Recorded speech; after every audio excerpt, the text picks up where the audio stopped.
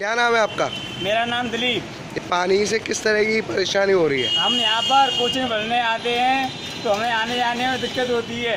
और यहाँ पर नाले चौड़े रहे हुए हैं और हमने नगर निगम नगर निगम वालों से शिकायत भी की है पर वो कुछ सुनवाई नहीं कर रहे हैं। पानी ये लगभग ज़्यादा बारिश हुई है उससे पानी बढ़ गया है थोड़ी हुई है? बारिश थोड़ी हुई है और नाले रुके हुए पड़े हैं इसीलिए पानी बढ़ पा नगर निगम की कोई व्यवस्था नहीं है पानी निकास नहीं है।